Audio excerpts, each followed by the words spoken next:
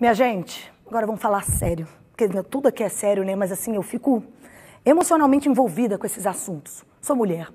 A cada dois minutos, uma mulher sofre violência doméstica. Num dia, então, se a gente fizer a conta, são 720 mulheres. O Brasil está em quinto lugar no ranking de feminicídio. A cada sete horas, uma mulher é assassinada. Quase metade das brasileiras já sofreu assédio sexual no trabalho. Eu já sofri assédio sexual no trabalho. Então não estou diferente da estatística.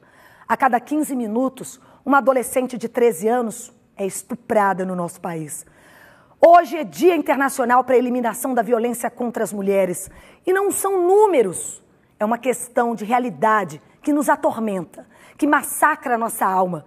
Um dia para dizer, mais que basta, é uma data para a gente propor mudanças, eliminar, acabar de vez com esse ciclo de violência.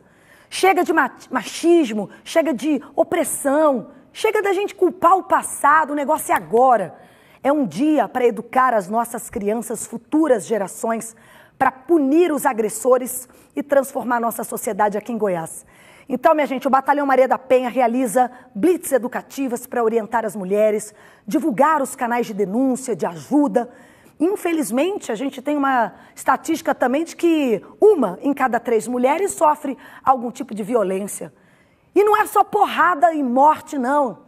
Existe a violência psicológica, a moral, a patrimonial, a virtual, assédio sexual e sabe lá quantas formas de violência. E nós não vamos aceitar isso. Dá um basta, ó, X vermelho para as mulheres que precisam pedir ajuda.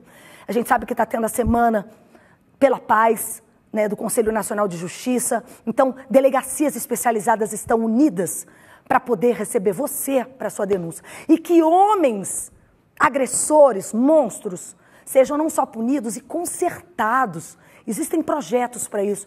E a gente cuidar da nossa geração para que as crianças não cresçam vendo que, que esse machismo que, que é arraigado, raizado. Vamos acabar com isso.